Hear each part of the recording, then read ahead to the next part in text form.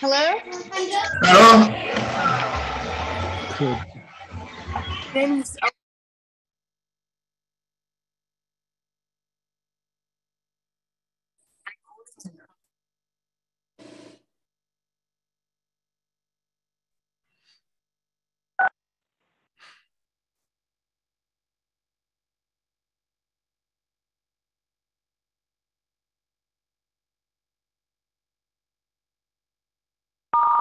It's two o'clock. We're going to start this afternoon. This is our annual meeting. Uh, my name is Ernesto Portillo. I'm the Public Information Officer for the Tucson City Department of Housing and Community Development. And uh, staff with uh, housing staff is with us, as well as public housing staff. And the purpose of the meeting this afternoon is to discuss the strategies and the goals and objectives of the Housing Choice Voucher Program, otherwise known as Section 8, and, and public housing programs. The draft 2022 Public Housing Authority Plan, annual plan, and the five-year capital fund program action plan um, are available for public review, and I'll put a link in the chat box. If you don't have access uh, to the chat box, I will also put my, uh, I'll give you my phone number at the end of the program at the end of the meeting, as well as my email address, and you can contact me directly. Para aquellas personas que hablan español, me pueden llamar directamente. Yo luego les voy a dar mi número de teléfono para, para, que, me, para que me hablen y yo puedo avisarles de este programa. If you are Spanish speaking, um, uh, I will give you my phone number later and you can contact me directly. I'd like to turn this over now to Terry Galligan, the Deputy Director uh, for uh, Department of Housing and Community Development. Yes, uh, good afternoon. Um, I'm Terry Galligan. I'm the Deputy Director here at the City of Tucson, and I oversee um, our public housing and our Section 8 visions. Um, so I just wanted to do a, a welcome. And right now, I'd like to turn it over to Liz Morales, our Director, to do a more formal introduction and let you know what our agenda is going to be. Hello, everyone. Good afternoon. Thank you for taking time out of your day to join us either on your computers, on your smartphones, or on your regular good old fashioned telephone. Um, this is definitely uh, the, the way since we've had the pandemic to do public meetings. And we wish we could be in person, but again, we appreciate that you would take time out of your day um, to hear about our, our agency plan our, um, and the updates and all the other parts about our program. I'm going to share my screen. If you're just on the phone and you can't see it, um, we'll try to make sure we speak very clearly so you know what we're covering. Uh, even if you can't see the video. So I'm about to share my screen. If you just give me a second. Oh, let me open that up. Um, Ernesto, can you see that? Can you confirm you can see that?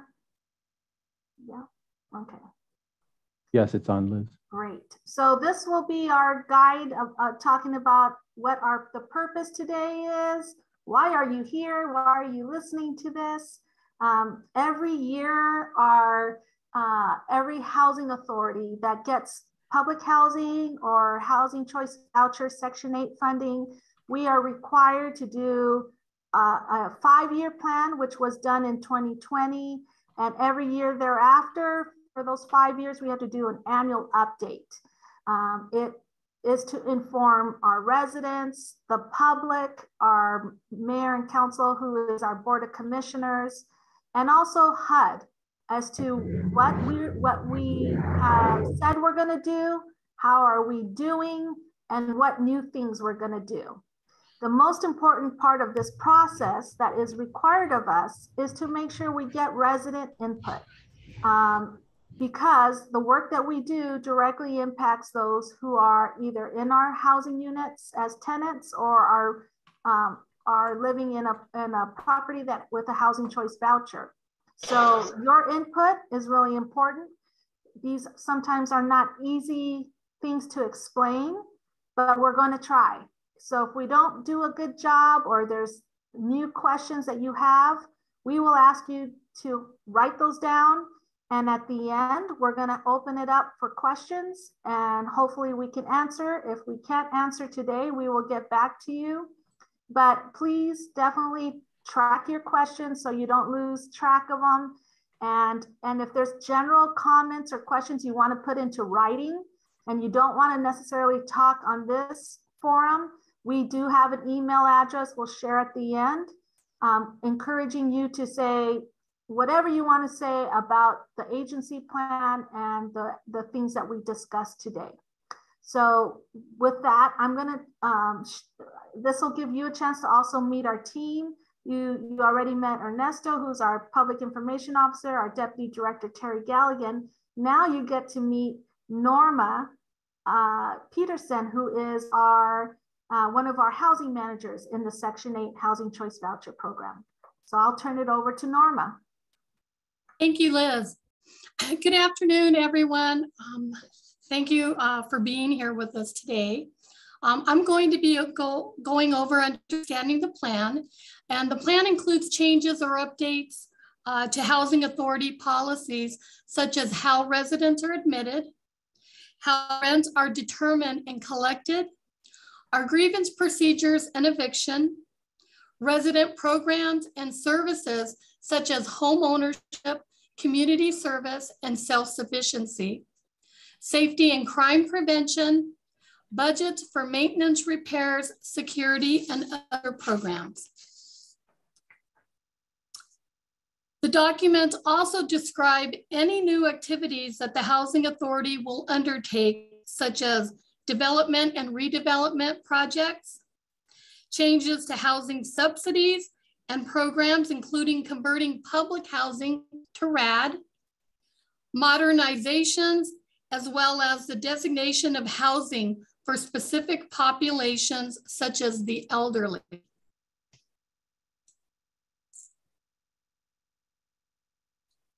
Now we're gonna ask Cindy um, who is also one of our managers in our Section 8 Housing Choice Voucher Program to cover this next slide. Hi, good afternoon. Um, the overview for Tucson and Pima. So the Housing Authority or the Public Housing and Community Development Department does administer um, vouchers for both Tucson and Pima County.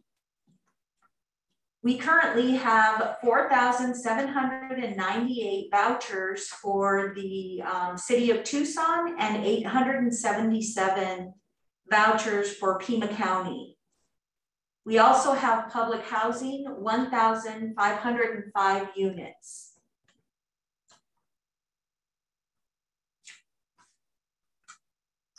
So the, this next um, uh, slide is around so just to explain, as we submit to HUD, there's a format in which we have to submit all our updates.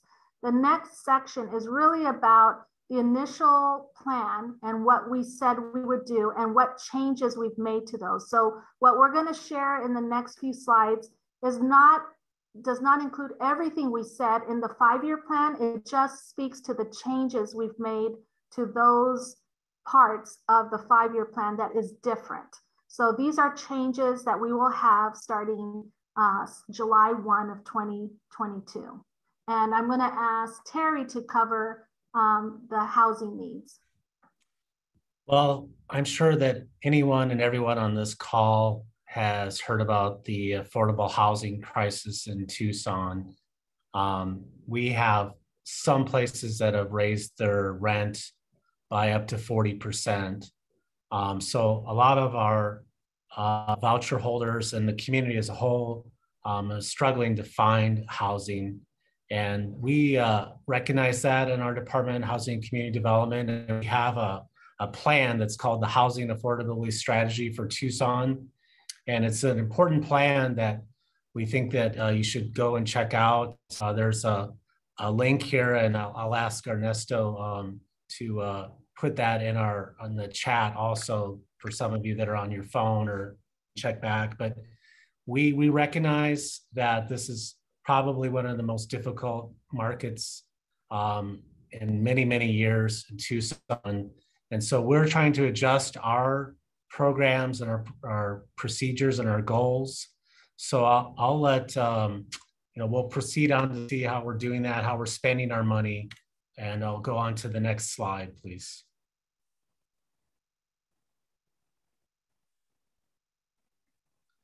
And I believe that uh, Cindy was going to talk a little bit about this. Is that correct?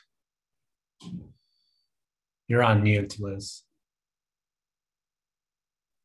My apologies. So I, I, think it's important. One of the things HUD wants to know is what is our current budgets for our federal grants.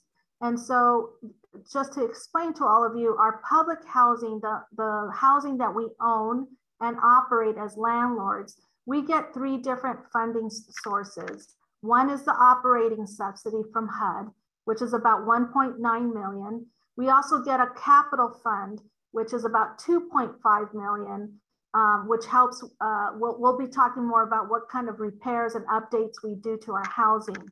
We also get tenant revenue, which is not a federal grant, um, but you can see it under other sources, the, the rental income um, and other charges and miscellaneous income. On the Housing Choice Voucher Program, we get two funding uh, from two different funding uh, pots from HUD. One is for the housing assistance payments, the rent that we pay to landlords, and the other is the administrative fee. That's what HUD gives us to do the operations. So that pays for staffing, utilities, um, supplies, all the things that we need to operate the program. We also have a ROSS grant that stands for uh, for resident services. So we have a resident services coordinator um, at some of our public housing. Um, and and as, as I mentioned, the capital fund um, is unobligated under the prior year. Those are funds that still carried over and we're still spending those. Um, and then under home, and CDBG, we do get a little bit of funding from those federal grants that are also from HUD, which provides some rental assistance and security and utility deposits. And we've used CDBG to help us with improvements uh, on the elevators for Tucson House. So that's just an overview. Again, we have to report that as to what all the sources of funds that we get uh, from the federal government um, to help operate these programs. Next, um, Cindy and Selene will talk about how rent is determined. Hi, good afternoon. My name is Selene Tibbetts and I am the Community Services Manager for the Public Housing Division. And I'm gonna be talking about the public housing flat rents.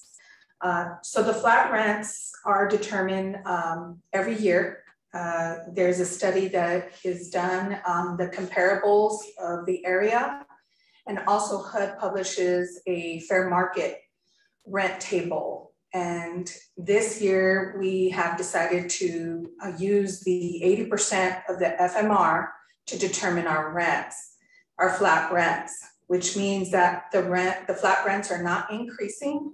Um, and this is based on, uh, you know, the current situation with COVID and rentals and things like that of the increase. So at this point, our flat rents, um, you know, have not increased from last year for public housing. The minimum rents for both public housing and Section 8 are at zero. And this year for the payment standards, we are using 120% of the fair market rent uh, for calendar year uh, 2022. Um, and that was effective uh, March 9th. We increased our payment standards to 120% of the fair market rent.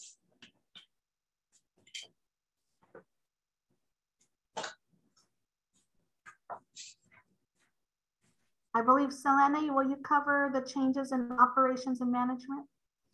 Yes, so the rules, standards, and policies, um, as far as the office hours, uh, they are Monday through Friday, eight to four thirty. Uh, we do have uh, walk-ins, and as of Monday, April fourth, we will accept all walk-ins between those hours. Um, at each of the AMP offices.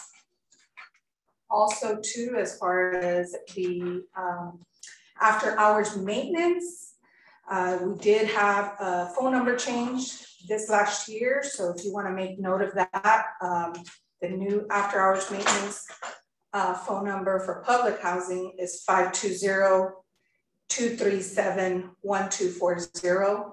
And we'll also put that in the chat. Um, also too, as far as uh, management um, for the preventive services uh, or eradication of pest infestation for public housing, this is done uh, and performed free of charge initiated by the resident if they feel that there is an infestation. We do have some of our high-rise properties that are already on a regular routine pest control.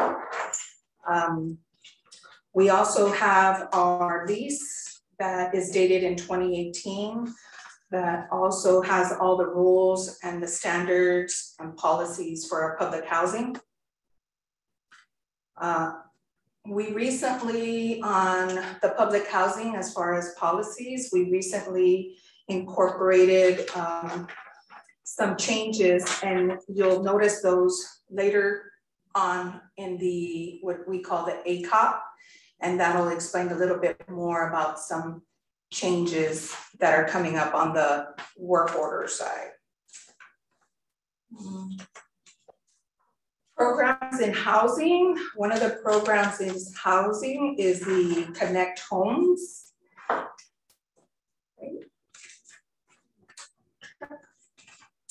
Uh, so the Connect Homes is a program that was developed in, uh, it started as a pilot and it is a pilot over at Tucson House and it's to uh, intertwine the, connect, the community with uh, internet services. So we're hoping that that will expand out to the rest of the program in the near future as far as the community services. Um, so that was basically placed on hold um, due to COVID and the pandemic. And we're just waiting for an update with from HUD that will come out probably sometime in April that will determine if it would be still on hold or if it will be lifted. Uh, our self-sufficiency programs, uh, with um, the FSS, which also um, we will continue doing uh, and during this next year. And safety and crime prevention grant, we've also started that um, in the choice neighborhood area. And we've continued that uh, as well as incorporating with the Tucson House and other uh, public housing uh, units in that same choice neighborhood area. Uh, going on to Choice Neighborhoods. Uh, Choice Neighborhood is a planning grant uh, in 2018 and was recently um, completed and we have now um, selected a co-developer, which is a partner to redevelop the Tucson house in the next fiscal year. Uh, the city of Tucson will work with the co-developer to create a phase plan for the financing, construction, relocation, and replacement of the units. Um, the agency will assess the feasibility of a successful implementation grant application during the next fiscal year to address the needs of the Tucson House and the surrounding area, which includes 408 of its units. Uh, the agency does anticipate um, approval of the Choice Neighborhood Transformation Plan in February or March of this year. And the plan details a vision for redeveloping the Tucson House along with the goals and strategies to improve uh, the neighborhood and surrounding neighborhood within the choice uh, boundaries. Uh, the action activities approved through the planning grant will be implemented and installed in the next fiscal year. And moving on to the mixed finance modernization. Uh, so just recently we had a physical needs assessment that was completed in 2021 for all of the uh, public housing units. And uh, based on that, we will be looking at developing an asset repositioning plan. Uh, so our table, our timetable with that to go to the Board of Commissioners is going to be next year, of June of next year of 2023. Uh, demolition and disposition. The City of Tucson uh, will be considering demolition and or disposition as a result of the recent physical needs assessment that was performed in 2021. Um, along with that, that's also gonna be in the asset repositioning plan, which we will be presenting to the Board of Commissioners next June of 2023. Uh, we also have a uh, designated housing for elderly and disabled families. Uh, so our department will be working to complete a designated housing plan uh, for a couple of our uh, sites, which is Lander Gardens, MLK, Silver Bell. Um, and that plan will basically be requesting to HUD to designate these three properties as elderly and or disabled. They are currently all under the general occupancy. So that also will be happening this next uh, fiscal year. And the uh, conversation in reference to the RAD. So RAD is the rental assistance demonstration and it's the conversion of the public housing units uh, to go either RAD, PBRA, or PBV. Uh, and this is actually based on the physical needs assessment that took place this last year as well. Um, so once we have the asset repositioning plan, that will be presented next year in June to determine what, which, which way we're gonna be taking as far as with our, um, with our assets. Okay. All right, you. I think you're done, right, Selene? I have one more, um, just the approved vacancies for modernization. Uh, so what that means is under public housing, we have approved vacancies for modernization under HUD. And this is what we call offline units and they're approved units which means that they are not, uh, we still receive subsidy for them, but we have to initiate requests of offline units. Um, and currently we have um, five units that are offline. So that's it, thank you. Thank you, Selene. So the next uh, update is from uh, our progress around the five-year plan. So we just finished talking about changes. Um, now we're going to talk about things that we've accomplished as a result of um, the work we've done in the past year. So this is the part where we get to um, celebrate and even talk about maybe some challenges, which we've had both. So I'm going to ask um, Cindy to talk about increased affordable housing. Selene is going to talk about improved quality of housing and Norma's going to talk about promoting self-sufficiency. Okay, so increasing um, the affordable housing. Um, we, the city of Tucson, have utilized the CARES Act and American Rescue Funds to assist with deposits um, for participants to increase the number of landlords We've done eviction prevention and um, a landlord incentive program. Um, during last year, we spent over um, 350,000 in these um, programs. Um, decrease homelessness, we've increased the number of um, HPP vouchers from 598 to 1,000. Um, this allows the city of Tucson and Pima County to house more homeless persons during the pandemic to reduce the spread. We've also hired some housing navigators and the vacancy rate for units has decreased to 3% for the fiscal year. And the public housing program continue to turn units timely. I'm sorry, Selena, I'm, I'm going into your stuff. Um, we also have the project-based voucher program for both Tucson and Pima County. Um, it is a great program and we are inc increasing affordability by offering project-based vouchers. Um, we had four projects, 41 units open and lease up since July of 2021. Um, three projects entered into an AHAP contract and one conditional award, which will bring an additional 111 units to Tucson and Pima County communities. Um, the PHA continues to review the effectiveness of the software and and completed an upgrade which allows for the following online recertifications, online work orders, and a procurement module, modular. With a software upgrade, the City of Tucson will open the City of Tucson and Pima County HCV wait list and certain AMPS for public housing before December 31st of 2022.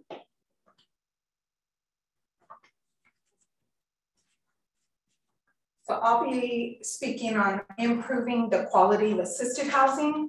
So the City of Tucson Housing um, uses housing navigators, has demonstrated to be a needed assistance to HCV voucher holders that have been on vouchers for an extended period of time or are hard to house as a result of the difficulty to secure units. So basically these navigators were hired to help people find places to live in, to rentals, rentals, finding landlords who are renting uh, currently. Um, as a result, the navigators assisted 63 families since October 1st of 2021 to January 26th of this year, with 31 households existing to per exiting to permanent and supportive housing destinations. Also, a temporary navigator was assigned to the landlord support team to assist HCV voucher holders in obtaining permanent housing, utilizing their voucher for housing.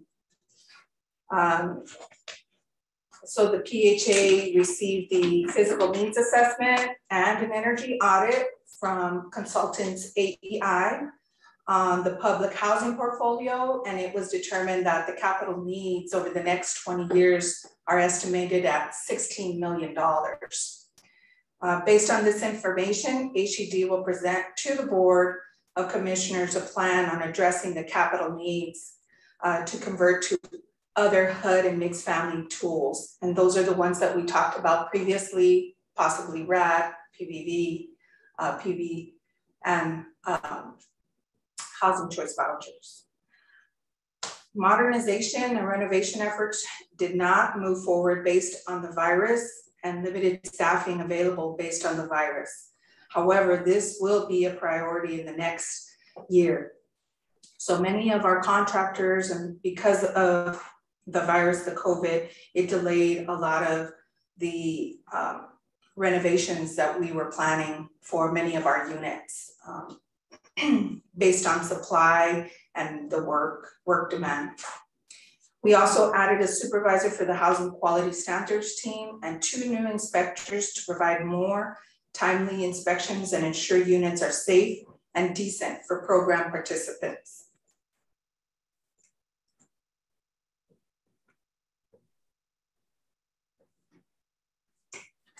And I think Norma, you'll be talking about the self-sufficiency. Yes, thank you, Selene. Uh, so the City of Tucson has been involved in several initiatives to promote self-sufficiency. Um, and in case you didn't know, the city of Tucson is a current recipient of a National League of Cities Equitable Economic Mobility Initiative grant. The city is using this opportunity to design, implement, and coordinate financial wellness, as well as economic stability programming at the Tucson House.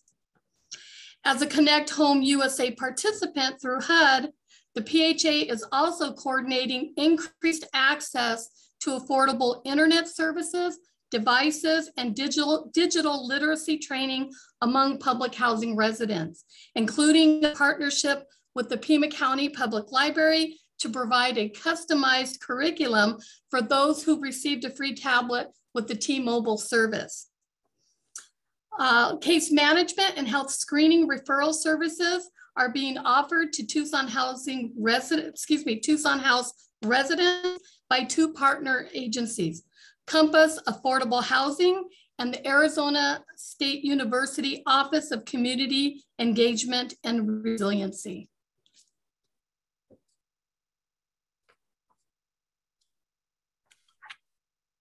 All right, thank you very much uh, uh, for that. Uh, we're going to move on to uh, our next um, pre presenter, and Renee uh, is going to introduce himself, and he's going to talk a little bit our, about our capital fund program. So go ahead, Renee. Good afternoon. My name is Renee Arrieta. I'm the program, program coordinator for the Capital Fund Program. As led Liz touched on it before, we get approximately uh, $2.5 million and it, it tends to go up a little bit every year. But part of the program, we set up a five-year plan. Basically, it's like a wish list of things we we propose to do in the coming five years.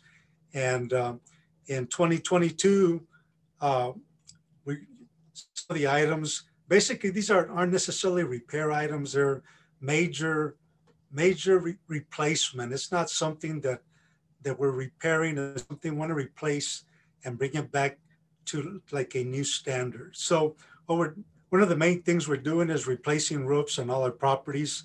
And like we you heard before, it's approximately 1,500 units and they're scattered sites, so that makes it kind of difficult to maintain. So we're working on roofs, we're working on site development, exterior lighting, uh, repairing parking lots. Uh, as Selena mentioned, uh, modernization basically means we go in and rehab uh, older units uh, that includes a total rehab of all the, all the items inside the house. So that's another category that we are, we schedule in that five-year plan as, and identifying units that need modernization. Um, the other thing we do is replacing evaporative coolers with uh, air conditioning uh, to help make uh, tenants more comfortable. And at the same time, it eventually helps reduce the energy cost and ha has a lot less maintenance involved. So, and then the other, one of the other major items is water heaters and one of our projects uh, that are older, we start replacing those before they go bad. So basically, it's the main things uh, along with emergency that might come up during any current year. And if an emergency arises during any grant year, uh, we have the ability to add it to the five-year plan uh, because it is an emergency. So it's pretty flexible. It's always volatile. Uh, the money's the, the money goes where it's needed the most, and uh, and that's that's what the five-year plan's about. And and hopefully uh, that helps explain it. And if you have any questions, uh, feel free to ask me anything. If not, um, I'm done. Thank you, Renee. You did a great job uh, explaining that. Um, we again, I, have already seen some good questions in the chat function, so that's another good place if you want to put your questions there when we get we're getting close to the end. Um, but we please remember to add any questions you have there or hold on to them until we open up that time. Um, one of the things I want to share is that besides the annual agency plan that we have to report to HUD, every year we update our policy documents. So because there's two programs that we've been talking about today, the public housing, which is the 1500 units that we own and operate as, as landlords. And then we also have the section eight housing choice voucher program and uh, we have an administrative plan, which HUD requires that we list our policies.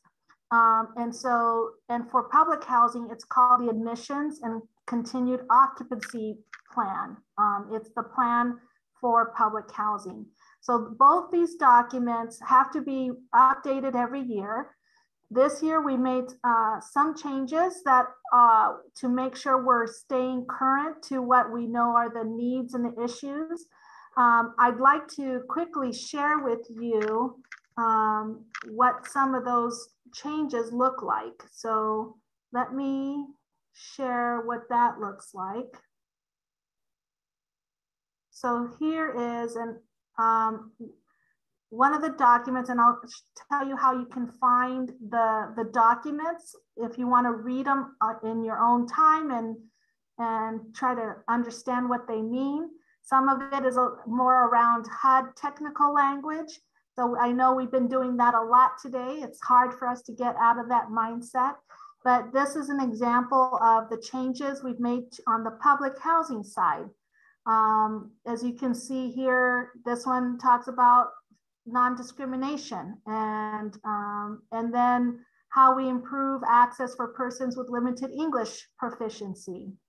Um, around eligibility. And some of these things, you, most of our clients or tenants don't understand. These are things we have to ensure we're doing either by what HUD tells us or what our Board of Commissioners, which is mayor and council.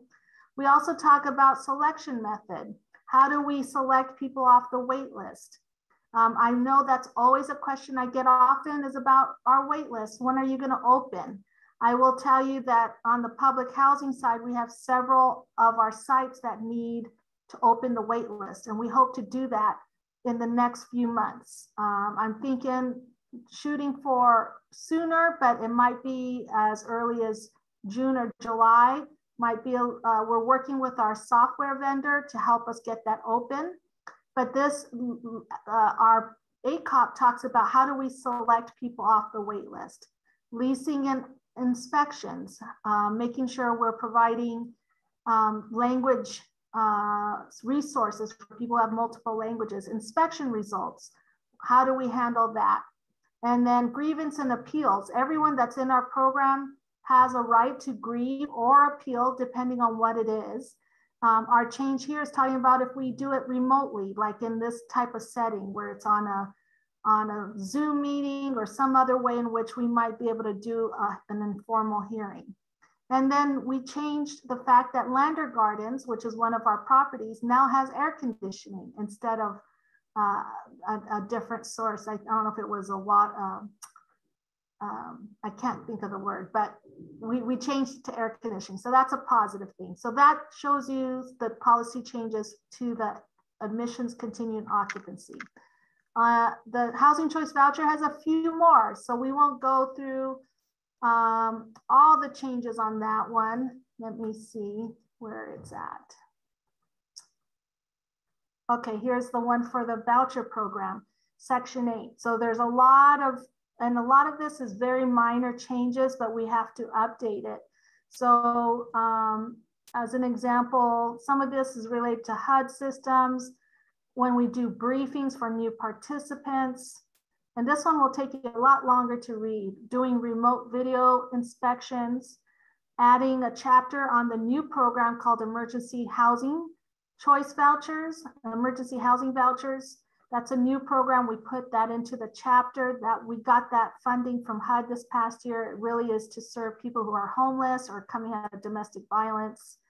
Um, talking about our hearings, what are um, what are documents that can be provided, what kind of evidence. Um, on the PHA owned units, now we're starting to do development. Um, we added that we could start, we may be able to provide project-based vouchers on units that the city owns and that we're developing. And there's a lot around the project-based voucher rules. Um, and then The homeless preference program, someone asked in the chat, um, what is HPP?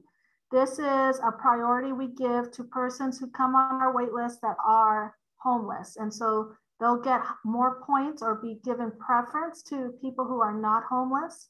So this provides um, uh, an explanation of how that happens um, and how they come to us. So what we are um, saying is that it's often going to be through our how our homeless services um, that is done in the community, and it's called coordinated entry. And so there's some procedures around that. And then we changed a chapter and again added new program information. So as these two documents that go through the changes, I'm going to share where that's at. But again, our admissions and continued occupancy, it's a large document. Um, as you can see, 366 pages. It's a lot of rules, a lot of HUD regulations. And then on the housing choice voucher, uh, I don't have the plan open, but um, the work that Renee was talking about, the capital fund five-year action plan, that's posted on our website. You can see in detail by program year, this one says 2022, what, what development and what type of work is being done and the estimated cost. And finally, the, the whole presentation today is based on this annual agency plan. This is the document I was telling you about that we have to send to HUD. And this is what everything we talked about today is covered in this document. It's available for you to view and read and provide comments. So going back to the presentation, um, let me catch us up to where we were. So here are the, the cover pages for the two policy documents. You're welcome to comment on the changes that we talked about as well, as long and on the cap, uh, the capital improvement program and on the agency plan. So where do you find these documents? Uh, the City of Tucson Housing Community Development has a website um, and it's you can go to tucsonaz.gov and if you do these backslash HCD um, and backslash plans, you can get to this document. I'm sorry, I'm going, my thing is a little sensitive here. So you'll find on this page where it says public comment draft documents, this is where you can look and read when, if and when the, these, plan, uh, these plans pass um, by our Board of Commissioners. They'll go in under the regular Public Housing Authority plans, but right now they're all draft and they're all available for public comment. comment. So you'll see the agency plan, the ACOP, the summary of ACOP changes, the draft administrative plan, the summary of the administrative plan changes, and then the draft capital fund five-year action plan. So those documents are out there at this site. We'll make sure um, if you want a copy of these slides, we can provide them to you. Um, just email us and we'll make sure you get this um, slide presentation. Finally, where do you submit your comments? If you feel comfortable putting your comments into writing, we, those have to go into the plan. We have to share that with our Board of Commissioners. Um, we're going to the Board of Commissioners on this on April 5th. So get your comments in as soon as possible um, in the next couple days so we can capture all your comments. You can email them to hcdadmin at tucsonaz.gov. If you're not comfortable writing them down, you're free to call this number and say, I want to submit my public comment on the agency plan and call this number 520-837-5322. So what happens now? We Today we held this meeting. We're gonna go, um, I said April 5th. I think I'm right. I might have wrote it wrong on this slide, but we're going to the Board of Commissioners if there is a public hearing there. And you are welcome to join that. Um, and if you want to know how to do that, you can email that same email or call us and say, I want to join the public hearing. and I want to make a comment, we will make sure you know how to do that.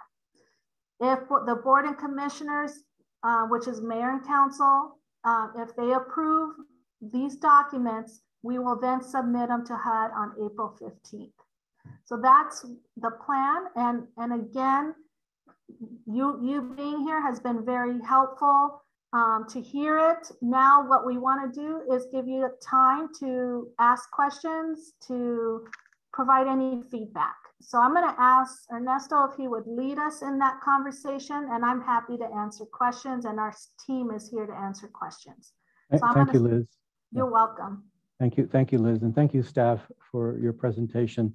Uh, to ask questions, if you are on a laptop or a desktop, at the bottom of your screen, you will see uh, to the right uh, little icon that says reactions. Press that and you'll see to raise your hand. If you are um, on a phone, you can uh, star nine to uh, raise your hand and we'll call on you and then it's star six to unmute yourself. And you can also ask questions in the chat.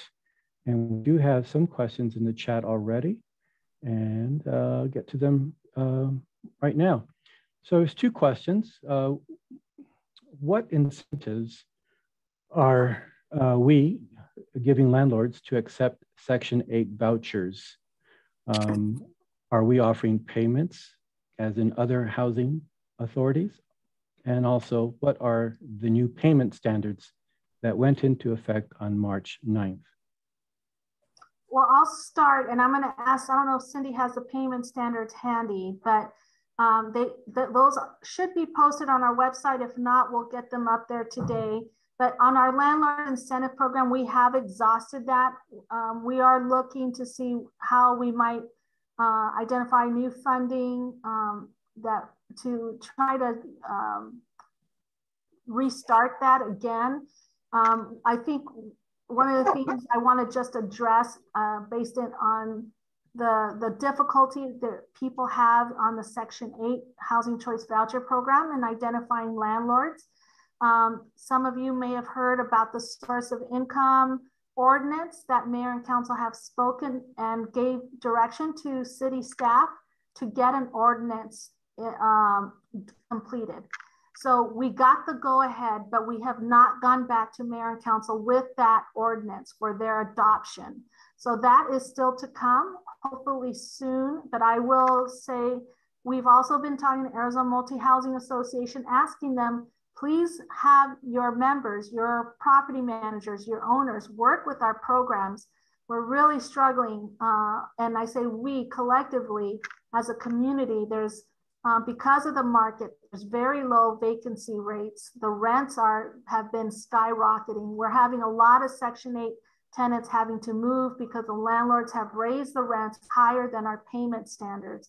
So HUD did grant us a waiver about two weeks ago I think it was around March 9th, um, to be able to increase up to 120% of the fair market rents, which is the maximum HUD allows. We have done that.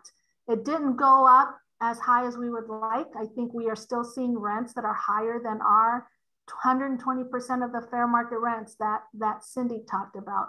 So we still are a little bit priced out of the market and and again, landlords currently can still deny people who are voucher holders, but that could change once we get that ordinance adopted.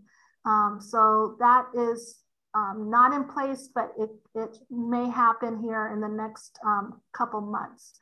Um, so Cindy, do, can you speak to the payment standard question?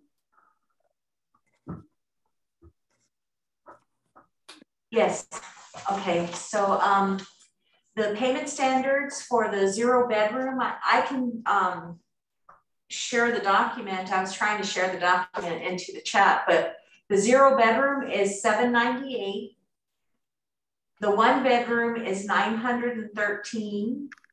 The two bedroom is 1,201. The three bedroom is 1,706. The four bedroom is $2,022. Five bedroom is 2324 and the six bedroom is 2628. And, and as you know, payment standards is in line with what HUD fair market rent. So those numbers are 120%. And that includes all housing costs. So if utilities was included in the rent, that would be the max a landlord that we could go into. Um, unless the, sometimes tenants have enough income, they can pay up to 40% of their income. So sometimes we can exceed uh, the, the rent, you know, has to be within the payment standards. If it's under, sometimes a tenant can pay a little bit more than, than that number. But please know that those, now that we're at 120%, we can't exceed that if the, the utilities are included. If utilities are not included, then there's a number that has to be backed out, which means the amount of rent the landlord can ask is going to be lower than that amount if the if there's utilities that the tenant pays. No, that's a, can get a little bit confusing. Someone has a specific question for their own that don't, uh, please hold those questions and we can connect you to a caseworker, a housing specialist to help you with your individual questions, okay? Um, and then I just want to address, uh, Ernesto, the one question that talked about trying to get Section 8 landlords, mm-hmm. um, suggest that we get special complexes only for Section 8. Um, it, that would be great. Um, at this point, we are willing to work with any landlord, but it is difficult right now. We have lost landlords instead of gained new landlords, but we can't find, we can't get a complex to only do Section 8 unless the landlord says, I'm willing to take Section 8. So this is a voluntary program at this point, and landlords can choose to work with our program, and then they can change their mind to not work with our program. But it, as we have been working really hard to identify those landlords who will work with our program and help direct people to those landlords who have told us they'll work with us. So um, I will turn it back to Ernesto. For Thank you, questions. Liz. Uh, would like to call on Rhonda and then Heidi, uh, you can uh, follow Rhonda. Uh, Rhonda, your question. Hi, um, I have a couple questions. Um, one is, um, are you allowed to leave the state of Arizona with the Section 8 voucher after a year? Rhonda, yes, that's called portability. And um, that is a function of the program. And the only thing that HUD says is you just have to identify the housing authority you plan to go to and give that information to our office um, so that we can transfer the paperwork. And it has to be at the end of a lease and the, or if the landlord's willing to let someone out of the lease. But the, the voucher is um, available in, in, across the country, even Puerto Rico. Um, so anyone can use their voucher as long as there's a housing authority that's willing to accept your voucher. And and we're not allowed to deny them, but there could be instances where they'll say, we only will absorb. And so we have to be willing to give up. There's, there's some nuances to it. So when you identify the city and what the housing authority is, tell that to the caseworker. We'll talk to that housing authority, make sure that that it can be done and that we do that in a timely basis. Okay. Uh, my next question is, um, this rent rent increase thing. I think I, I pretty much got some clarity on it, but um, um, if the rent is still above your max, does that mean that the, as a tenant that I need to start looking to move? So, so let us talk to the landlord about that. I will mm-hmm. tell you that the answer to yes is probably, I mean, the answer to your question is probably yes. Um, what we do is if the landlord submits a rent increase, um, and it's with it, let's say it's within our payment standards and uh, eh, but it might be more than 40% of your income that you would pay towards rent. You have the option to pay as to pay the increase. It might all fall on the tenant. So sometimes we we need to talk to the tenant to say, you can you can you do this and do you want to pay this difference? The other thing is every time, whether it's a new unit or it's a renewal, with a rent increase, we have to do a rent reasonableness test, which means we have to show that the rent is that's being charged is the same as someone who's not on Section 8. Um, and so we have to work with the landlord to ensure that that's happening. So, but unfortunately, we've had more tenants than we'd like who have to move because the, the rent is higher than what the program can, can afford. Okay, so that leads me to my next question. Is there a place that you can go online or otherwise in your office that you could uh, uh, get updated information of landlords that are willing to take Section 8? So Rhonda, that's the million dollar question. So what we, the, the website that we have partnered with to help us with that is called gosection8.com. I will say that the feedback is it's very few, if, if no units on that. So it's mm. it's not been the best resource at this time because of the way the market is. GoSection8.com, I've been working with them and, and for many years in my career prior to coming to, to Tucson.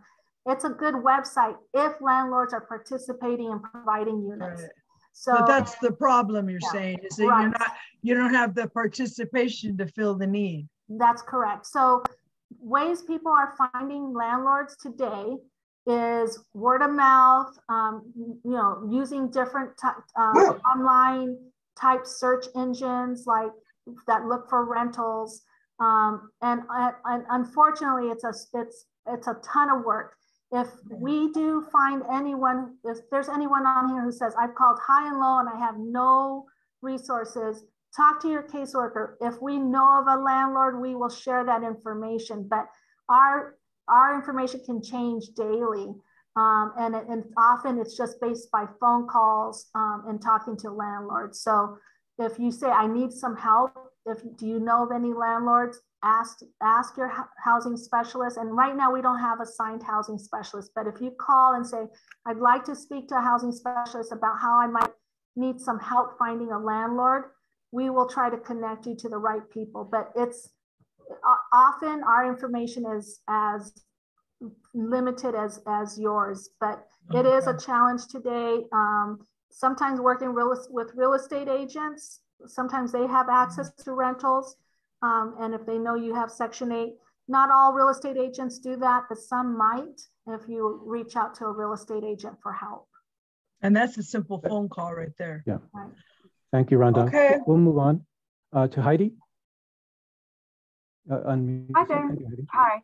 I, I, just want to thank you for doing this. Um, I do have a Section 8 voucher, and um, I, you know, I've had a little bit of problems over on and off, but uh, I'll just tell you a slight amount about my situation right now is that um, I put my paperwork in the box outside the building and it was lost.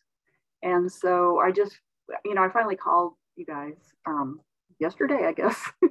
and my rent usually goes up on the first.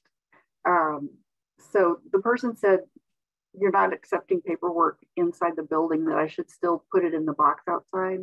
And she suggested that I put my paperwork on top of the box and take a picture of it to show that I actually submitted it. And that seemed kind of, you know, I, am not going to do that. I decided to um, come in during the, the hours that you have available for walk-ins. But um, but then I was also, um, and I'm glad to hear about the new um, payment standard because my rent is 500 and my my landlord now has listed the apartment exactly like mine for 895 a month. Uh, you know, so I mean, right now my my rent is 500. So uh, yeah, I was afraid I was going to have to move, but I mean, hopefully they're not going to raise it that much. Um, what was my other question? Oh, have you ever thought about doing um, shared housing vouchers like roommates? Because I know um, I looked into moving to Sacramento and they they started doing that. Like people, two people with vouchers move in together. So I'm gonna I'm gonna back that one to Cindy because um, HUD does provide us some available models, and I'm wondering if that if we have that in our admin plan. We do have shared housing, if that's what you're talking about. Um, and so, yes, it is in the admin plan. And so, if you find a place where a landlord is willing to rent to you, you can utilize your voucher. Um, we do have a section in the admin plan, and there is a CFR on um, Code of Federal Regulation um, for shared housing. So when we're determining the rent and utilities, there could be a prorated amount. It's the higher of the, I mean, I'm sorry, the lower of the payment standard or the prorated amount that you figure out when you're doing shared housing. So yes, that is a possibility. And what we can do is in the administrative plan, Heidi, we can tell you where that's at. It doesn't uh-huh. mean it has to be two voucher holders. It means a landlord that probably has a roommate situation and, and one of the rooms would be rented to someone with a voucher. So you don't have to find another voucher holder to, to do it with you. Oh yeah, there's a lot of those um, uh, university housing things that, you know, maybe that would work. I don't know if I'd want to do that. Thank you. You're welcome. Thank you, Heidi. Let me go to the chat and then I'll go back to our uh, online. A question, how long do we have to wait for our voucher amount to be raised after we submit newborn baby documents? So I, am going to try and then Cindy, you uh, correct me. So typically when someone reports a new addition to the family, you're already in a certain bedroom size. So we don't change that unless you are you are under let's i'll use an example i have a two bedroom voucher um, and it's me and my 10 year old son. I have a child.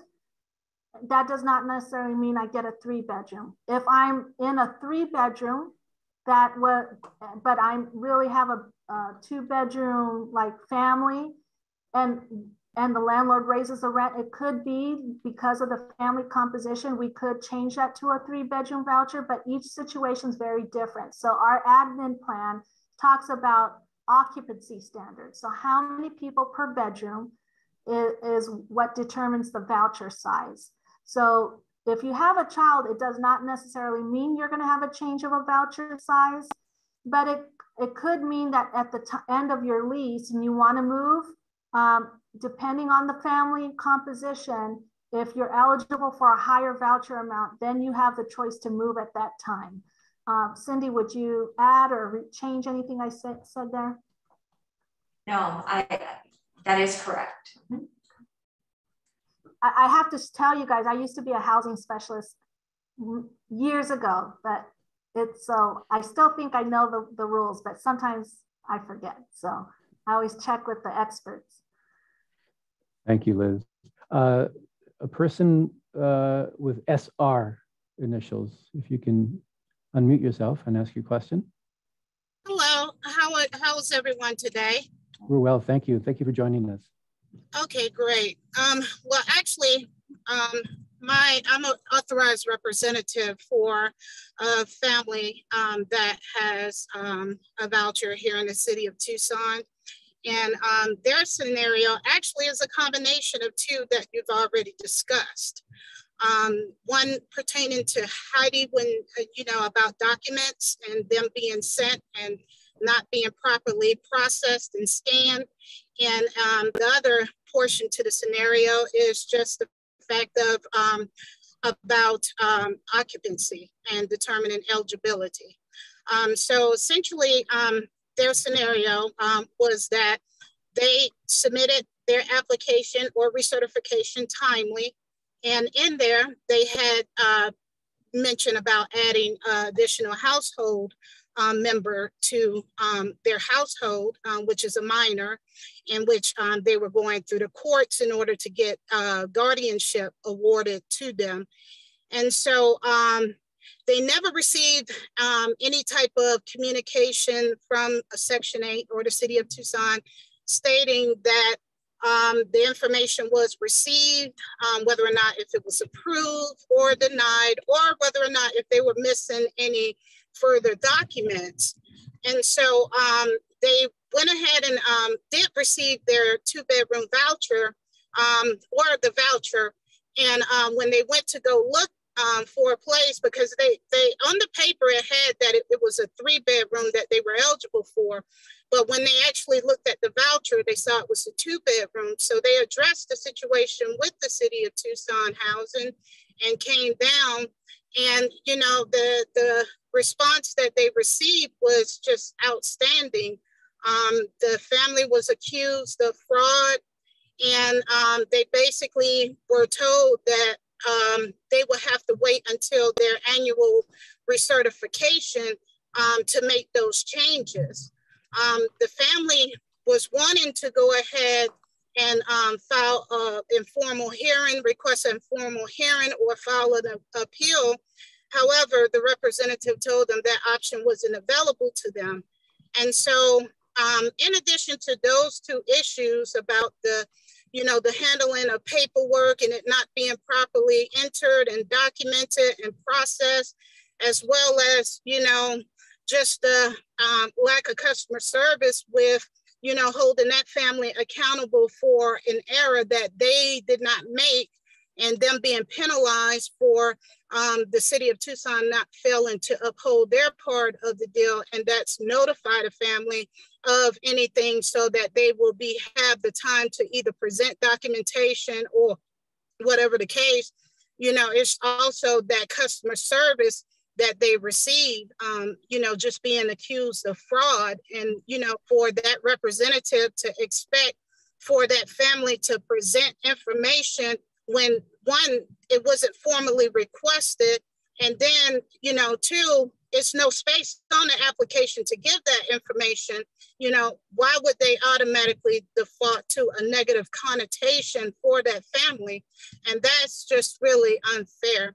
You know, I participated yeah. on this. Can, if uh-huh. I can, um, so I, you know, I always have, you know, been doing this work in Section 8 for many years. We make a lot of mistakes. Um, it's not excusable. Um, we should not be losing paperwork. Um, but I will say, and and and treatment of and customer service and treatment of our clients, it, for me, is extremely important. So when I hear that people are have been not treated to the level that we want, I can tell you I'm, I'm very sorry about that. Um, so what we'll do is I love to take personal situations. I'd prefer if you guys could submit that in writing. You can either submit it to Terry Galligan, to Cindy Nunez, or to me, um, Liz Morales, and we can address those individual issues. Um, and, and hopefully we find out that those issues are not the norm, but they are exceptions. And because I will tell you, we hold all our staff to very high expectations on how to treat staff and how to handle paperwork. So you present a situation that's not not something I you know want to hear and and what I want to do is to correct it right away. So if you don't mind emailing us um, that situation or having that family put it into writing, we can address that and we can correct that. Um, and, and, and maybe the correction or the resolution isn't what the family wants, but at least we can explain it in a way that's respectful and, and explains the rules and the policies. So if you don't mind um, making sure you get our emails and share that information and, and the details um, to keep that family's confidentiality. Um, but please know we, we can easily address that issue and make sure that doesn't happen again. Yes, ma'am. And in terms of rectifying the situation, um, that will also be assessed as well. Is that correct? That's that's the goal. Again, whether or not they can move now or or later, we'll we'll, we'll determine that. Well, no, they they don't even have a place. They just only have their voucher. Okay. So let's so, talk. Yeah, let's talk offline and and um, between Cindy and Norma, we'll make sure you get that gets rectified and addressed, okay? Yes, ma'am. Well, thank you very much. And you said the emails are in the chat. Yes, I'll Just, make uh, sure, yeah. I put them in. Awesome. Thank you thank all you. very much and have a good day. Thank you. Thank you. Someone uh, named iPhone Kathy. I love that. iPhone Kathy. Your question.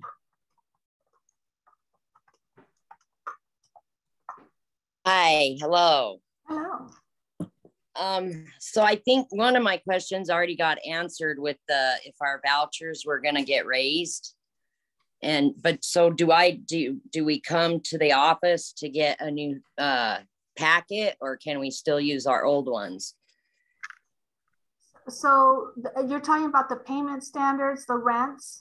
So the yeah. voucher forms should be the same they, those don't need to be updated. What what the difference is when they the landlord requests a rent, then we'll determine if the rent it fits the program parameters when you submit, when you find a place you want to rent. Right. Well, for right now, I thought my I thought my it was 837 was what my standard was for a one bedroom. Okay. And yeah, and again, like you guys are well aware of the situation that hardly any landlords, at least on the east side, because I wanted to stay by my mother, and uh, but a lot of them are not. Even the 1050 apartments, mm-hmm. I was on their waiting list, and then their owners are like, "Well, we're not going to accept Section 8 anymore."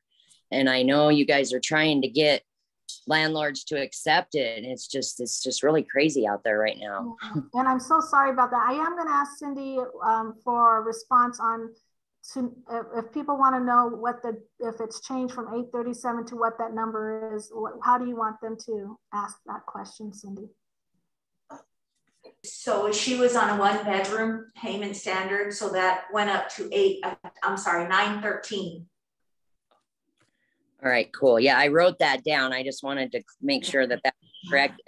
And then also for the gosection8.com website, I've actually been on there as well. And it's either maybe some of them are, I don't know who updates these websites or if they do, but I know I've had some issues on there too. I've tried to call a few and either they, they're, yeah, just a lot of people are not accepting Section 8 at this time, is what they keep telling us, or mm-hmm. else they're not accepted at all anymore.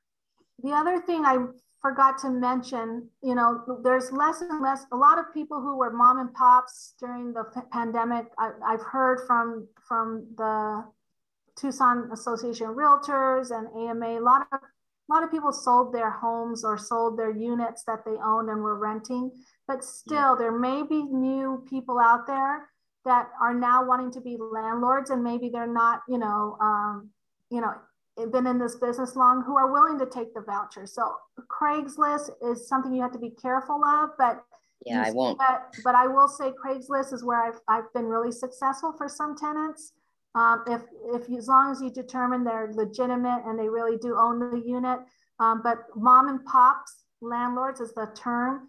Private owners who are wanting to rent their units. Um, some some of them are condos, you know, townhomes those are great ones. If you can just say, here, this is who I am, uh, you know, yes, Section 8, but it's easy. So someone, I think it was Shanna, uh, talked about what landlords are saying about payments and turnaround. You know, I, I, I joke, that's an old statement. If someone's saying that, they haven't worked with our program for at least two years. Um, we made some significant improvements in our processes. Landlords are getting uh, that initial payment the first time someone moves into the unit, it used to take a long time to get paid or there might be issues. Now we're paying those within about 30 to 40 days. Um, and so that turnaround, our inspections are happening very, very quickly. So if a landlord says, I stopped working because, you know, they, they were overdue with their payments, that that we've been able to address that and that's no longer an issue. In fact all the landlords that work with us now the feedback is it's it's running very well. Um, but again we have to get them to work with us. That's the the deal so. Hopefully right. that answers. Uh, thank you iphone kathy. Uh, let me go to the chat. Um, this may have been addressed but i don't think so but i'll ask it anyway. Could you please elaborate on the oops wrong one if you qualify for a two bedroom, but find a three bedroom for the price of two, can you potentially get the three? I, am going to ask Cindy to answer that question. I believe that's an A-OK thing to do, but I A-OK. A-OK. Just remember that you um, the utility allowance will be of a two bedroom as well. It's for the voucher. Um, so that's the allowance that you would get. Okay, just, thank you. Ernesto, if I can, I would love, um, oh, I, I think Heidi had a, still had a question. Did you still have a question, Heidi? Oh yeah, I just want to make a comment about losing the paperwork. Um, I just don't know, I wonder where it went because I've been the um, victim of identity theft before. Someone um, claimed unemployment for the pandemic and got $15,000 in my name. So, and also having to put your stuff in the in a lockbox outside a building is just, you know, it's not because I already put it in in December and then I didn't find out until I called yesterday that they never got it. Yeah. So Heidi, I, I I'm one of those that I don't believe we lose paperwork. I think paper gets misfiled. Um, so we can definitely try to do another uh, search for that. You know, I I do think we need to update our processes. We're we want to also try to get to a point where things are more electronic. If at some point we can do that with landlords where they could submit it for you. So we're, we're talking to our vendor and trying to figure out ways so that we don't have to deal with lost paperwork. But often what happens is a paperwork gets put in the wrong place and then we find it months later.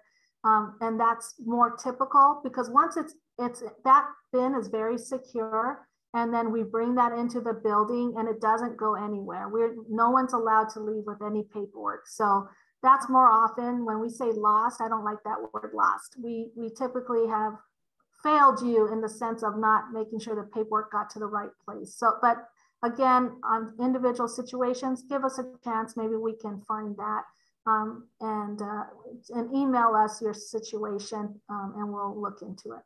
Yeah, and I, I I made copies of everything, so I'm going to bring it tomorrow. Okay. And I really like the idea of having an online portal. Yeah. It'd be awesome. So thank you. Thank you, Heidi. Uh, Liz, could you go over again the uh, the, the, plan to uh, help uh, with rising uh, rents uh, with the increase in the threshold with the AMI? Yeah. So you know, right now the rents are at the max that we can go that HUD allows us to. So those are the 120% of the area uh, of the fair market rents. Um, we will continue to try to find ways. Um, hopefully HUD will give us um, higher rents. October is when they publish their, their fair market rents. So that's the next time we'll know what that is.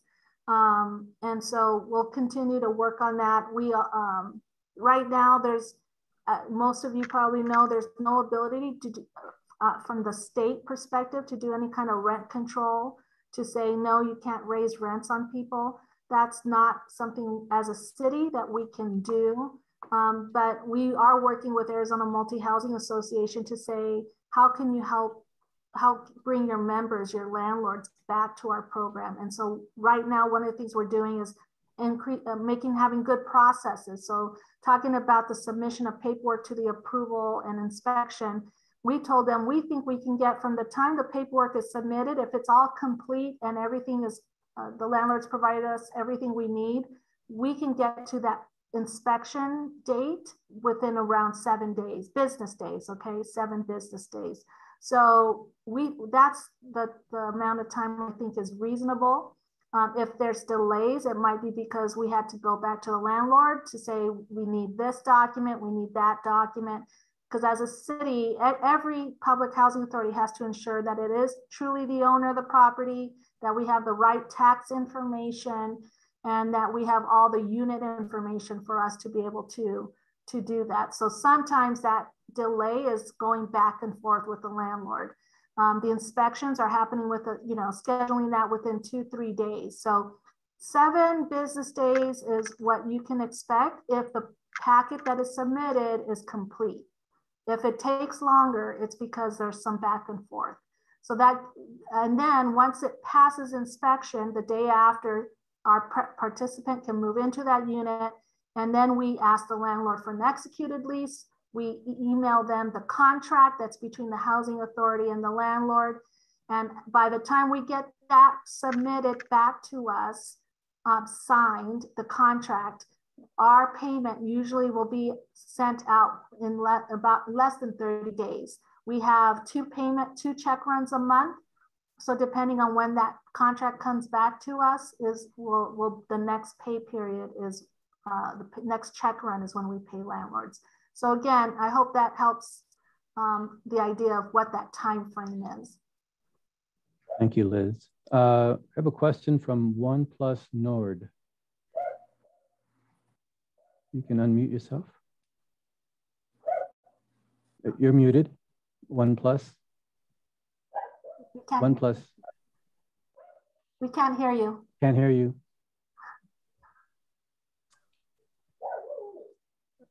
um, one plus, we can't hear you.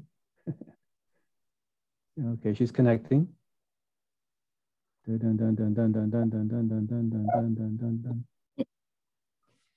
While we're, we're waiting for we're waiting. her, um, I mm-hmm. do want to know, is there anyone on this call that is a public housing resident?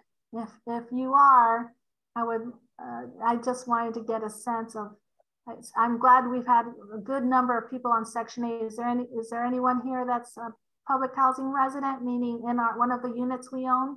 I'm confused as to what that is.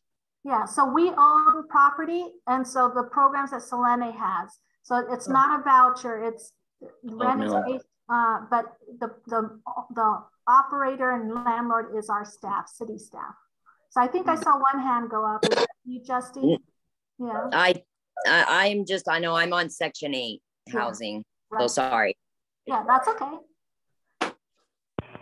Liz, Mike's here. Oh, Mike. Oh, there you are. Your yellow sweatshirt. I should know that's you. Good. So did one plus is still connecting to audio? Yeah, she's still connecting. Yeah. And who do you talk to about the FSS program, the Family Self-Sufficient? Oh, I'm glad you asked about that. I was thinking when we were talking about it earlier, we needed to do a little commercial. The Family Self-Sufficiency Program is an excellent program um, for people who are starting at little to no income and want to work your way up. And as you work your way up and have increases in your rent, there's a, a, a, a- a certain amount that goes into an escrow account. And some people, a lot of people, when they graduate the program, it's typically a five-year program. Some people graduate a lot sooner. They get those funds either for down payment or to maybe for education, to buy a car, whatever the needs are. Um, but if you're interested in the family self-sufficiency program, uh, Selene or Sydney, who, who, or oh, I'm sorry, Norma, who would they contact? Uh, They could contact myself and I'll get it to our uh, FSS staff. Okay. And I'll have Cindy put in my uh, email address.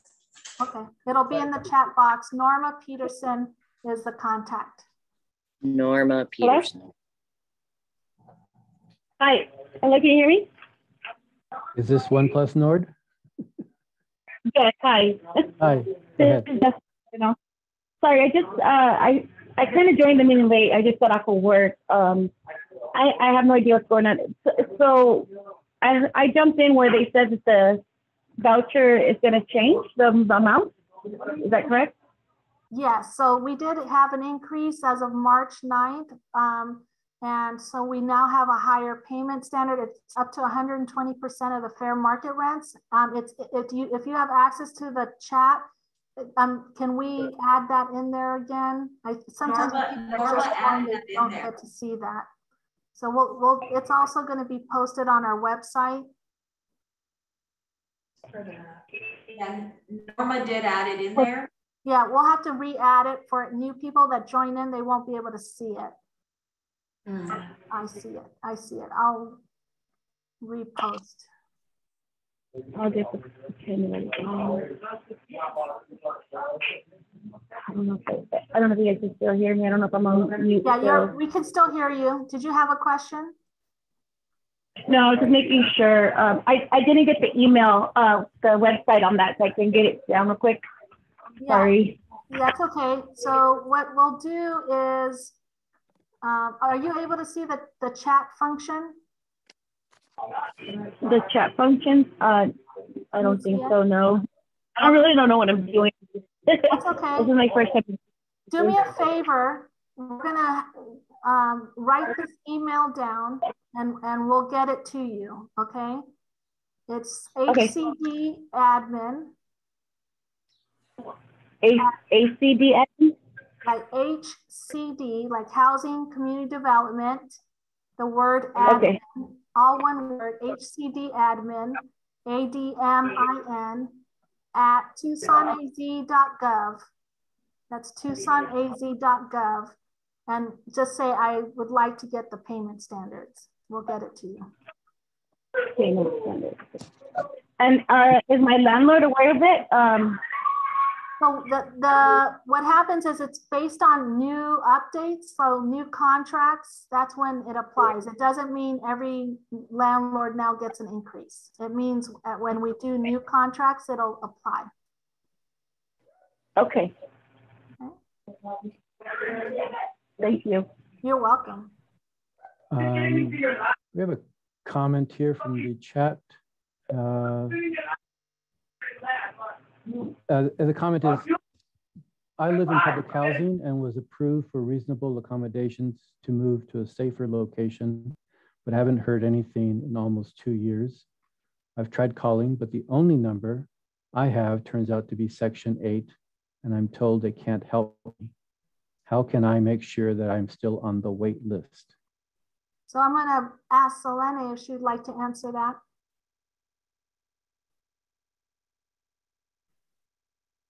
What I'll do is I'll put my email and my direct phone number so you can contact me. That way we're not sharing your information, your personal information. Uh, are you able to view the chat? Well, she did a chat. It's oh, a question off the chat. Uh -huh. Okay, then I'll go ahead and put it on there.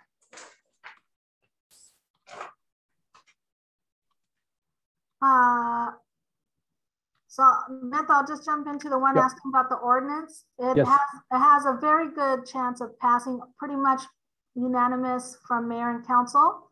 Um, mm -hmm. And so the ordinance would say that um, it, it briefly that if as long if someone meets the standards of tenancy, meaning that the landlord has determined someone is eligible to rent their unit, that and they have a source of income that uh, like a voucher or uh, some other subs subsidy rental assistance, that person can't be denied.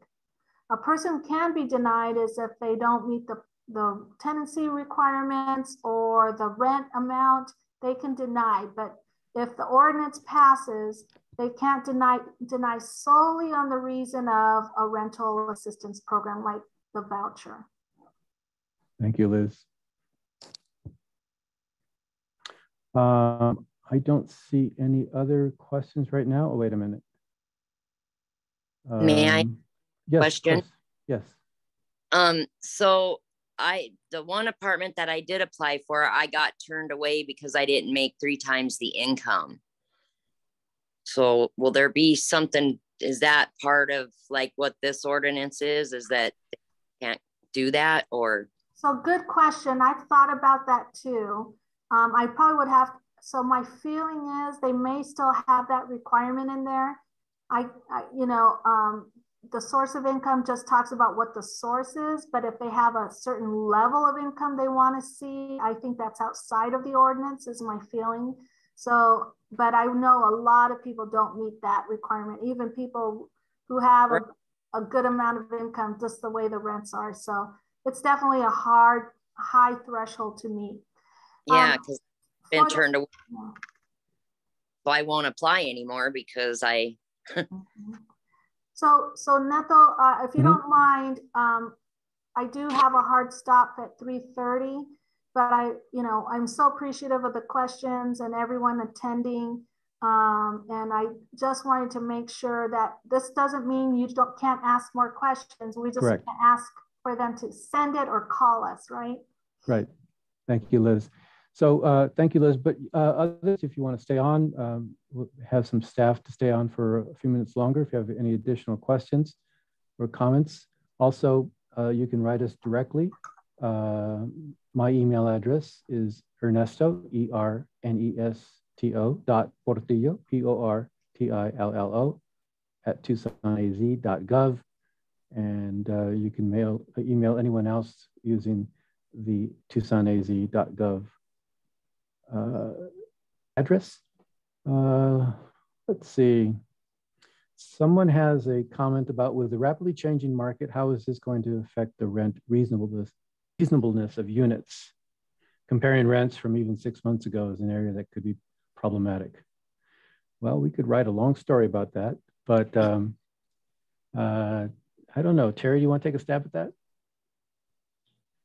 Well, we are restricted by HUD and how often we can uh, raise our rents. Mhm. And it usually comes out once a year. HUD comes out with their rent uh, amounts that we can charge, and then we can go, like right now, we're at our maximum, we can go up to 120% of that.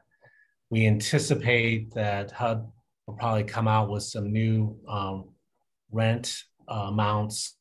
Usually they come out in um, April. Um, correct me if I'm wrong, uh, Cindy. Is it usually April or is it more? I'm thinking I might be thinking of the home fund program. It's October. Yeah, I'm, I apologize. I was thinking of of uh, the home ownership home program.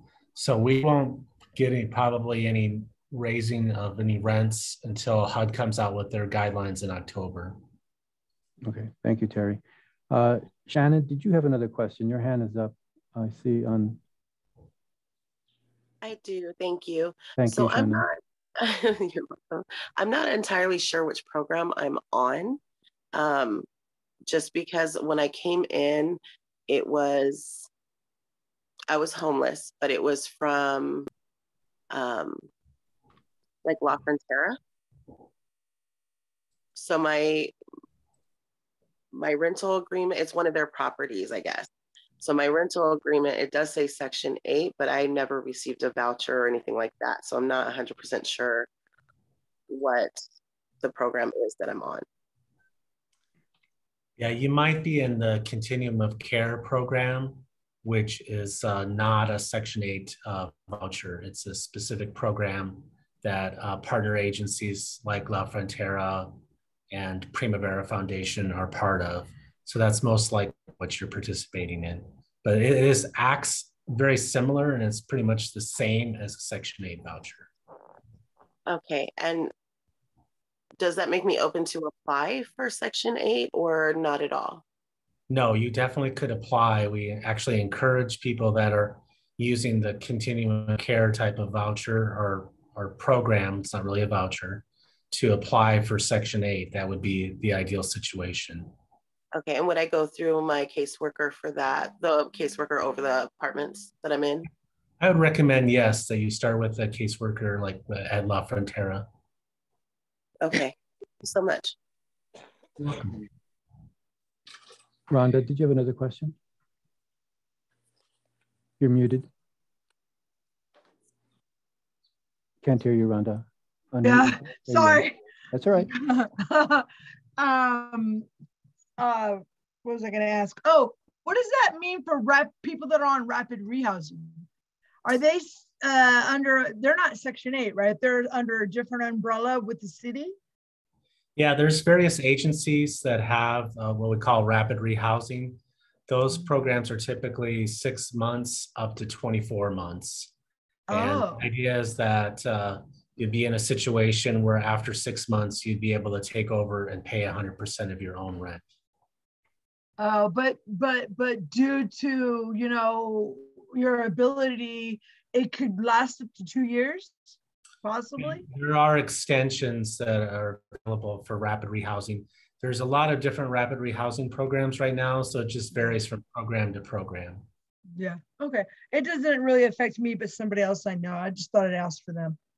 Sure thing. Thank you. Thank you, You're welcome. Rhonda. Uh, see, anyone else? I don't see anything else, anyone else right now with a hand up. Um, if not, uh, I'd One like more to, question. yes, Sorry. Heidi, Do you, go do you have Heidi. any idea when the wait list will reopen for Section 8? Because I have, I, I've, it hasn't been open for a long time, I don't think. Uh, we're looking at a possibility of uh, sometime this summer, um, which could mean July. Um, we have, uh, we're working with uh, our uh, software company that uh, needs to help us uh, come up with how we open that up because it'll be a, app, a process that people will be able to apply online. So the best case scenario would probably be July. Okay. And then will it be open more than a couple days? Because in the past, it was only open a week. Yeah, it's not going to be open very long. We will have plenty of uh, advertising. It'll be on, you know, with Ernesto and his his uh, ability to get the word out. The public will be well informed of what the dates are, but it won't be open for very long. You're correct. Okay, great. Thank you. Thank you, Heidi. Um, iPhone has a question. Oh, hi, I'm Sue. How are you? Hi, Sue. Thank you. Well. Yes. Yes, I'm interested in being connected to the resident advisory board. I just heard about that the last few weeks. And um, as a renter for HUD, I wasn't, I, I didn't know much about this. Maybe the programs only existed for the last few years. So if anyone can give me a number to reach out to the different um, representatives for the wards, I would, I would love that. That would be me. You can, uh, you're interested in joining our resident advisory board. We just had our first meeting a couple of weeks ago. We are hmm. looking uh, uh, folks that want to uh, help us with these plans that you see um, that we're talking about today. So um, you can call me. Um, I'll put my number in the chat. Um, but my phone number is 837 5006 if you're interested in joining our resident advisory board. Yes, I am interested. Liz Morales has already asked me to do so, but I have to see who I'm working with. And I know it's it's a bold statement, but I really would be interested in who I work with and, and I can uh, flourish more. So thank you. You're welcome. Thank you. Bye. Thank you for your question, which brings up uh, uh, a, a nice suggestion on my part. You know, you're active in this meeting, continue your, your active role in, in the public in advocating for more affordable and public housing. Talk to your friends, your family members, talk to your political representatives about the importance of the subject. Shannon, you had uh, another question, comment? I did have one more. Um, okay. I had updated a few several years ago. I was on the wait list for Section 8 and I had updated my information and I waited about a year and a half to contact again because they normally tell us not to contact um, the actual office to see where we're at on the wait list because they can't see. Um, so I waited about a year and a half because I know the wait list was really long. It was about five years with the estimate. I called them and they said that I was up that they reached out and they never got a hold of me. Well, it turned out my contact information wasn't correctly updated. So I missed out on that. Um, how can I, in the future, make sure that doesn't happen again without bugging them? Because I know you guys are busy also. Well, like I said, there's an opportunity coming up now that are we're reopening the wait list, and now that we have this uh, uh, portal and the software that we are able to track who applied and when. We're hoping that, that that'll be a customer service improvement going forward. So yeah, okay. that has been a weakness in the past of our, you know, and then like you say, we have so many people and so few vouchers. Um, but uh, this time around, we're hoping that this system will work better. Okay. And then with me being in the program I'm in, I wouldn't be one of top priority is what I'm asking. Would that be accurate? Well, I, I think I encourage you if, if you're not on the wait list to get on the wait list. So, you know, it's it's really we're doing a lottery system. So you, you know, we'll what we'll do is if we get 5,000 applicants or 10,000, we'll do a lottery system and there's uh, that's how we're going to do it. So it's fair across the board. Okay, thank you very much. You guys, thank you for your time. I appreciate it. Thank you, Shannon, for, for participating. SR, you have your hand up. Uh, you have, I think you have a new question. Um, yes, I'm sorry. Okay, so um, regarding an issue where um, there, okay, so Section 8 acknowledged that um, the family had to, had, well, the, it's pretty much well similar situation where um, the apartment community determined they no longer wanted to accept Section 8. So they gave the family a 60 day notice. Um, they had to be out the unit by February the 28th. So family was out of the unit. Um, however, Section 8 paid um, that amount for the month of March. Um, on March 22nd, um, the property group went ahead and and and uh, alleged that the family was still staying in the unit and that they owed the difference amount you know, sticking to as if the contract was still in effect from what was under Section 8, under the HAP. And so, you know, how the, would a situation like that be addressed? Like, why wasn't it, you know, reconciled that the property shouldn't have not gotten that rent for the month of March, um, despite that both parties knew that that family was going to be out that unit on February the 28th? Yeah, I mean, these circumstances you're bringing up are very specific. I, I would encourage you to get in touch with our staff and we can we can research this. But um, you know, I, I can't answer in generalizations, but but we'd be glad to do some research and find out what happened with this. So um, you can get in touch with me or Cindy um, or Norma. Okay, no problem. Thank you again. Thank you. From the chat, uh, Terry uh, and, and staff, uh, question, is there any place where we can find out about upcoming construction or availability for Section 42 buildings that may accept Section 8 vouchers? Yeah, that uh, probably refers to the low income housing tax credit program. Mhm. And uh, yeah, we uh, we do track that here at the city. We do know of some projects that are online. There's one um, actually really near the Tucson house. Right. So um, yes, if you're interested in that, you can contact me and we can uh, um, update you uh, periodically. And when we know when a, uh, a new low income housing tax project is going to open. Thank you, Terry. Uh, Another question from the chat.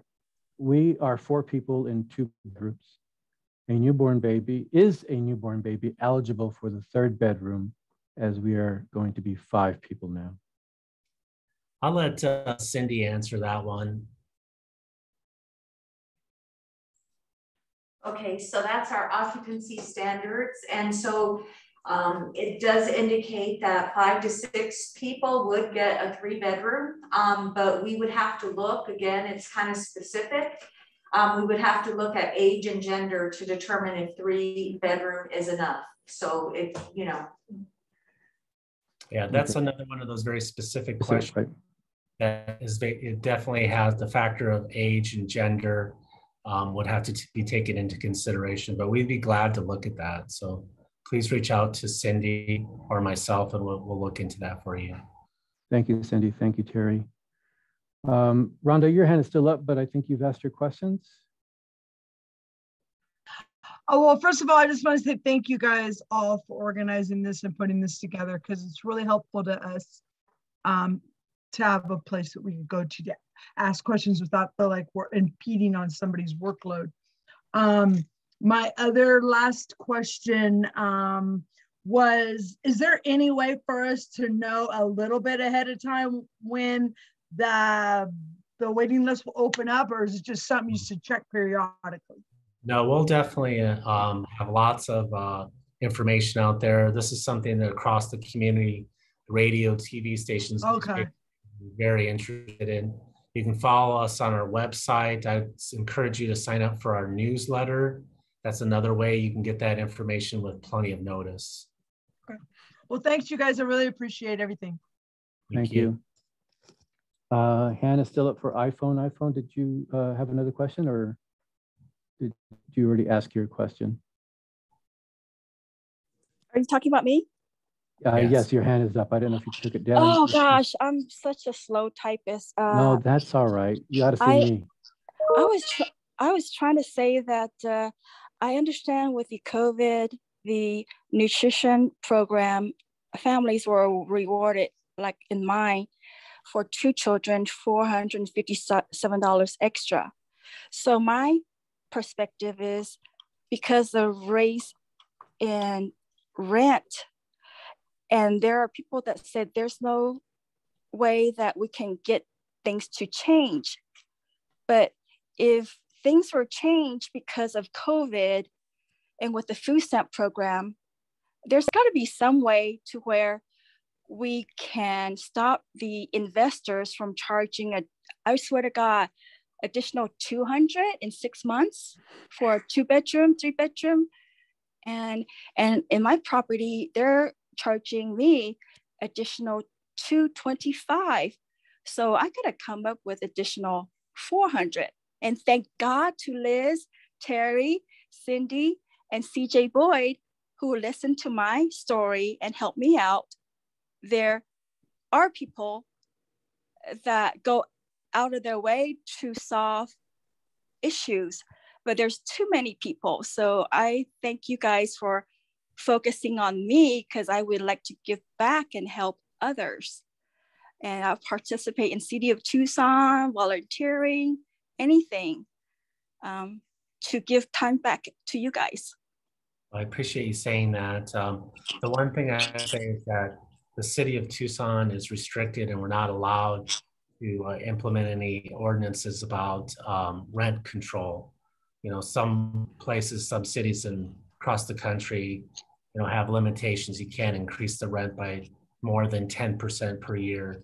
Unfortunately, our, our state legislature won't let us do that. But we, uh, you know, are trying to change that because uh, I think across the entire state, people are recognizing that rents are going up faster than people's income. Yes, and I was a participant in 2018 with the um, O Housing First. Okay. Uh, so I don't know what they have done in the city to quickly house homeless people. And I heard you that you're the person to reach out to. And there are many, many programs for that rapid housing. But all's great. And I'm here listening to wonderful people give knowledge to us. But as a person that don't go out much, how can I help others if I don't know the right answer? Like, uh, I would love to go to a website and print that out and distribute to the 176 units that I live to help other people that were evicted or kicked out. Well, I would say like uh, right now we're putting in our chat our our uh, how to sign up for our newsletter, how to stay in touch with. So it could be a, you know a back and forth. If any of you on this call, remaining on this call, have suggestions or would uh, like to help us out, um, please feel free to reach out to us. And we learn every time we talk to the public in these type of meetings. We learn a lot also. So we don't have all the answers. We don't have all the connections, but feel free to reach out to us anytime and we, we can work together. Sure, I, I will send it quickly because I, I, might take too long to get my word out. Thank you. You're welcome. Thank, thank okay. you. Mm -hmm. um, we're about 15 minutes to the hour. Uh, our scheduled time to end is at four o'clock. I don't see any more questions uh, or hands up. Um, on in the chat, uh, uh Rachel, uh, my colleague, put in the uh, link to for our monthly newsletter. If you don't, please sign up for it. Um, and oh, the, the guy with the sweater, Mike. Hey, hey, no, no, I just want to let you know there is a, a question in chat. Is there? Well, uh, my old eyes don't didn't see it. Would you want to go ahead and ask it? Why, sure. okay. um, the question is, if I live in Section 8 and I want to move to another house in Tucson, can I move during any time or do I have to wait until my lease is finished? Yeah, I'll let Cindy answer this one. I, I think I know the answer, but I don't want to botch it. Go ahead, Cindy. So for an initial lease term, you do need to remain in your unit for the 12 months. If it's a renewal, you can move. Um, you just need to give notice, proper notice, and submit that notice to Section 8. You and the landlord um, have to agree on that and then submit it to us so that we can prepare a voucher so you can move to another unit. Okay, thank you. Mike, did I miss any other questions in the chat? uh, let me check. Let's see. I no, I believe that was the last one. Uh, let me introduce you to Mike Edmonds. He is uh, a Tucson superhero. He's a residence council. He is an ambassador for Ward 3 as well as for Housing and Community Development. Mike does it all, and we uh, are very appreciative of his efforts in working with us on housing issues. Well, as was as was uh, mentioned a little earlier, you know, I'm very thankful for what I have, and I've tried to give back and uh, and help others, basically. And uh, that's what I've been that's what I've been after. I see well, you you've heard me say it, a lot of opportunities and possibilities. So I'm I'm I'm pushing for them all. Thank you. And so on that note, I guess so we can uh, finish here. Uh, again, hey, seeing, yes. Sorry. No, um, no, go ahead, Rachel. It looks like um, somebody else did put a question in the chat asking Okay. if uh, we could post the new voucher amount in the chat, if that's possible. The Um, voucher uh, payment standards have been posted in the th- chat. Yeah, they're, they're in there. Oh, perfect. Okay. Yeah, there's, again, there's a lot of information in the chat. This recording uh, will be available. Uh, Again, please contact us for any additional information or uh, uh, recording, the, the- the, PowerPoint presentation. Uh, We're here to help you, to serve you. Uh, And again, thank you so much for your participation in this meeting, of the annual action plan for the Public Housing Authority. And let's see, one more question. That's it. All right. Thank you again, everyone. And uh, be strong, be safe, be healthy, and advocate for public housing. Thank you. Thank you.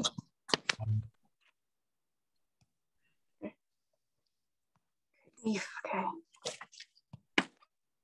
Oh, sorry.